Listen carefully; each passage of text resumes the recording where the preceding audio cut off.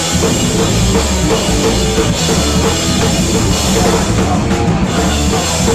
be right back.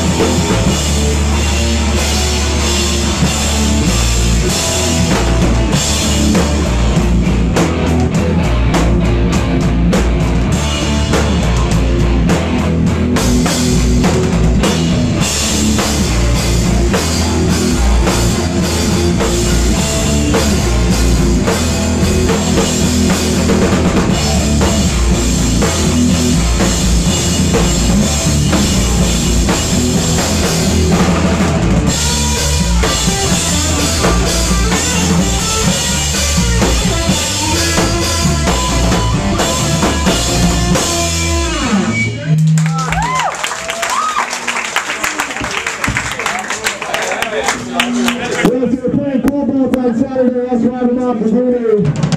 Um,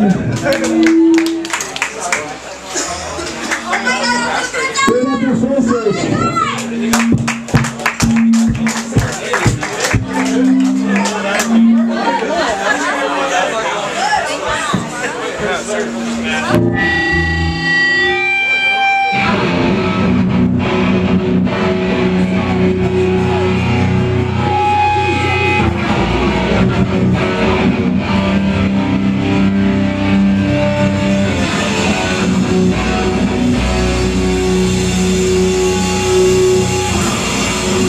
Ladies and